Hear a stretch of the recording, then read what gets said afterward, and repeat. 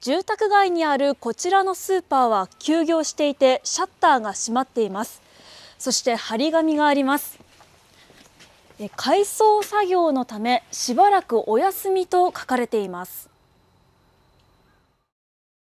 夕張市でおよそ70年間続く老舗スーパー金安。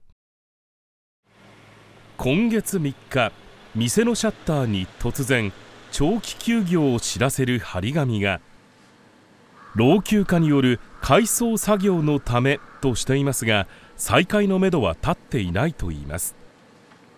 でもやっぱり来なかったら不便ですよ。だってほとんどないですもん今の店。いや困ったねっていう話。聞いたのは急だったんですよ。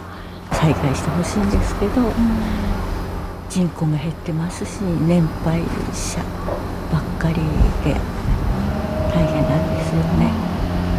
休みお休みみたいです。休みみたいなの？あらいやいやいやいやいやいや。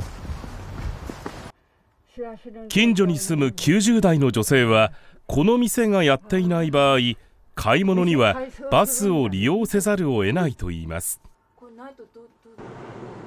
夕張市はかつて炭鉱の町として栄えたくさんの店でにぎわっていましたが人口減少とともに多くが廃業しました。市街地は幹線道路沿いに縦長に広がっています。北部にはスーパーが少なく金安から一番近くのスーパーは徒歩で40分ほどかかります。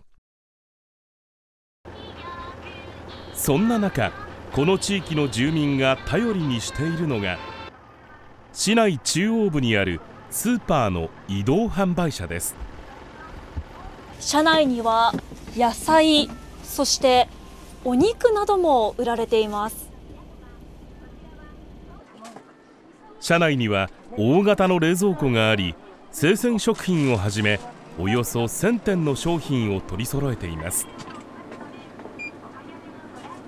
高齢の方中心に買い物来れない方ですとかあと車ない方ですとかがね主に利用されてます、こちらの移動販売車は日曜と月曜を除き毎日町内を回っていて1日40人ほどが利用しているといいます。来るたび利用してるよ。車はないです年だからやめたの。これなかったら生活できませんよく買うものはお肉でしょ？果物でしょ？